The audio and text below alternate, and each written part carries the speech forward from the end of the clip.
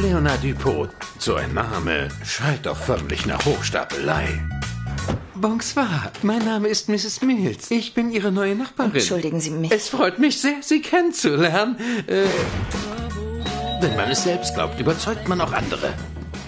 Sagen Sie, Ellen, das äh, Objekt in Ihrem Badezimmer. Ich hänge daran, weil es meiner Großmutter gehört hat. Ich würde es niemals verkaufen. Warum? Schade. Verlegerin! Oh, wie entzückend! Marvel ist wundervoll! Aber wir brauchen eine Heldin, die uns zeigt, dass alles möglich ist. Sie, Scarlett. Nein, nein, ich hab genug! Sie ist der Star. Sie ist die Königin in den sozialen Medien. Fünf Millionen Klicks in einer Woche. Und was machen wir jetzt? Wir müssen sofort zum nächsten Termin und erst in fünf Minuten. Hey! Alles gut! Ich fühle mich Ihnen außergewöhnlich verbunden. Sie sind einzigartig und so vertrauenswürdig. Ellen, beurteilen Sie Ihr Buch niemals nach dem Einband. Was genau sind Sie?